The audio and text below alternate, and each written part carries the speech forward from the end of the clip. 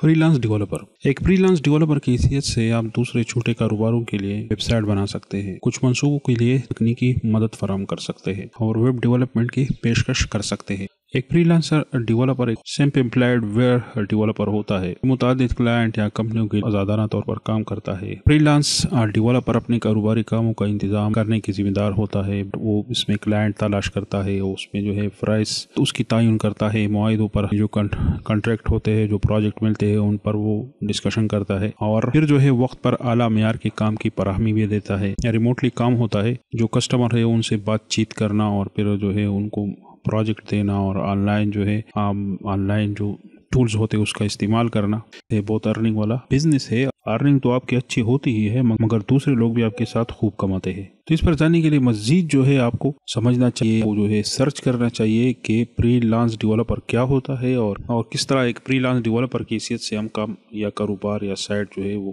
बना सकते हैं। शुक्रिया।